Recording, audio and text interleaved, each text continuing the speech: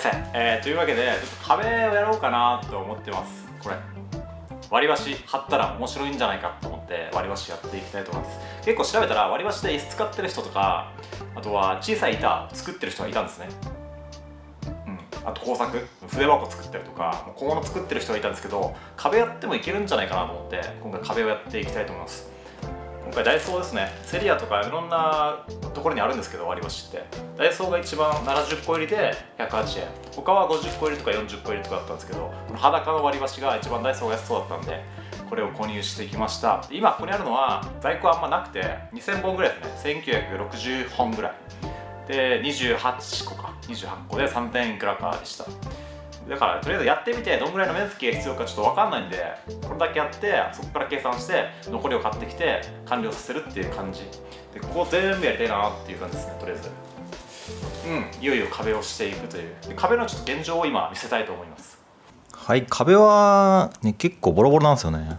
ここなんかかなり浮いちゃってて中スカスカなので本当は全部取っ払って補修したいとこなんですが、まあ、とりあえず割り箸やってみてから割り箸も長く持つような感じはしないので、まあ、それが壊れたタイミングで壁をまた新しく作ろうかなっていう感じでございます。で結構汚れてますよね。こうガムテープの跡があったりとかあとはフックが打ち込まれてたり割れてたりまあいろいろあるんですけどまんま上からやれば全部隠せるし、まあ、ちょうどいいんじゃないかなっていうところですね。こう浮いてますね。こう浮いててここはガムテープね。で上なんかは、えー、フック。フックが打たれてますねこういうところ。これは全部取って。から、えー、っと割り箸をつけていきたいと思います、まあ、こういうのが現状ですね。これを全面この部屋この間だけはやってみようかなという。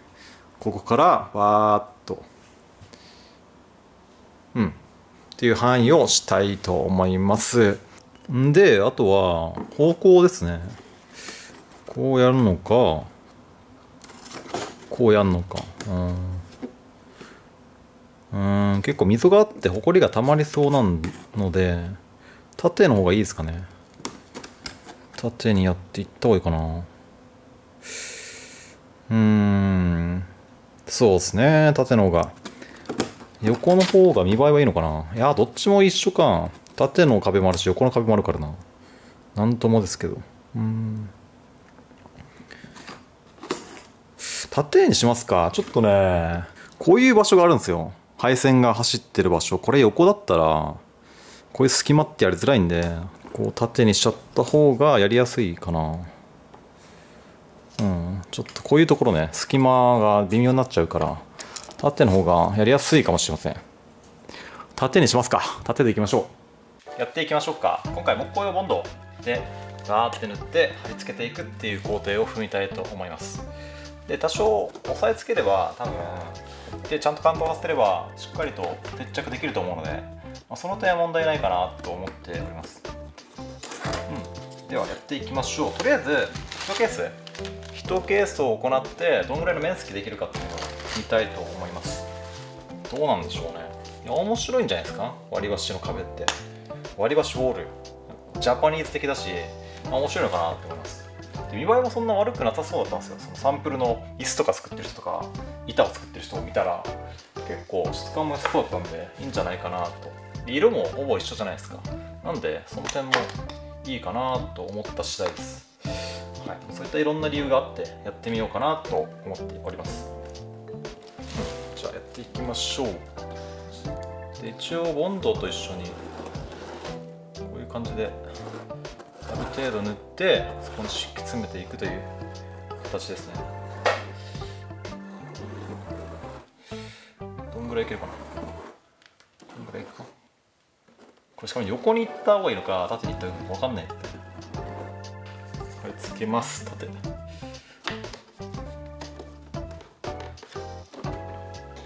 さえつけるしっかり。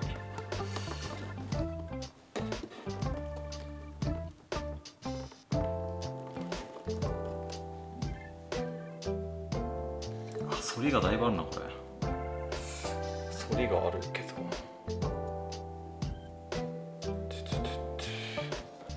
圧着が必要そうだな圧着がで2本目は前後ですね上下で入れ替えてやればほぼほぼストレートにいけるんじゃないかなって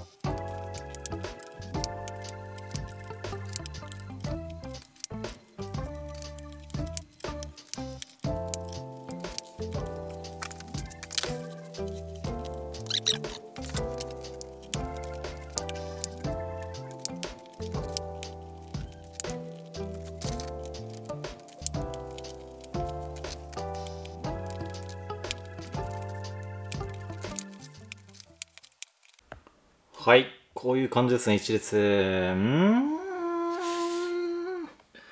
どうだろうね。どうだろうねこれ。うん。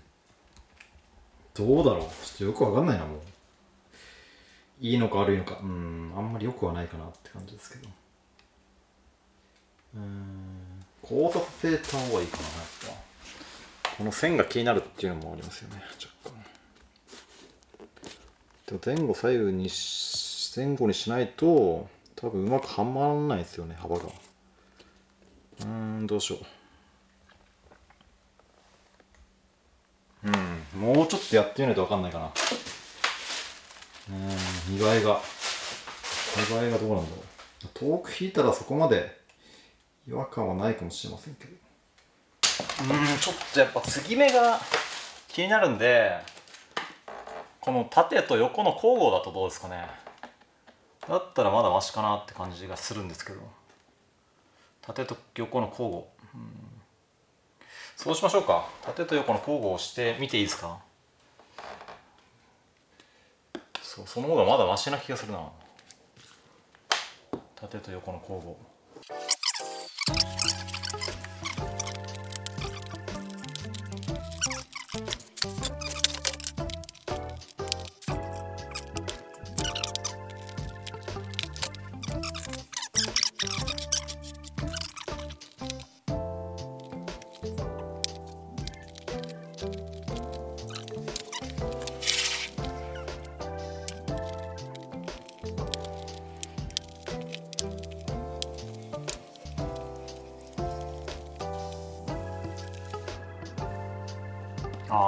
マシっぽいな。こっちの方がいいなまだ。これランダムブロックみたいな感じで。こっちの方がマシじゃないですかまだ。そういう気がする個人的には。うん限界があるな。こうだね。はいこれでほぼほぼ同一面積なので。またやっていきましょう。あなんとなく解決方法が見えてきた。見切り発車もいいとこでしたねかなり。いつも通りです。いつも通りなんですけれど今回は壁っていうね大きいところなんでなかなか失敗できないんですよね。いいんですけど別にね。失敗してもいいんですけどなるべくなるべくちゃんとやりたいという。いくら失敗してもいいんですが一応ね戻していきます。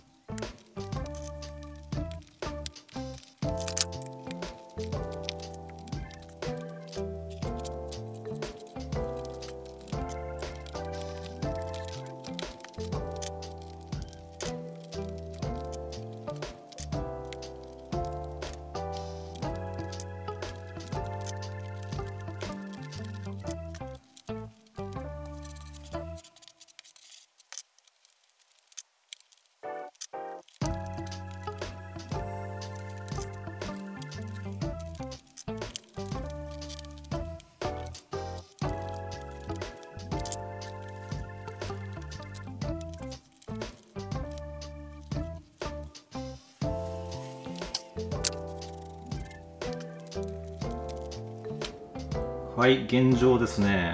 なんかまあこういうの見たことありますよね。こういう交互になってるやつ。ねで面白いのが結構こう正面から見た色と斜めから見たらだいぶ色が違う。光の陰影反射が出るのでくぼんでる部分と平らな部分の違いで面白いですね。印象がだいぶ違うというか正面から見た時と下に構えた時。その辺はいいのかなって。面白いかなって。面白いですね。ほらほらだいぶ違うんじゃないですか色が。濃い茶色と肌色というか。という感じ。うん。まあマシじゃないですかさっきよりかは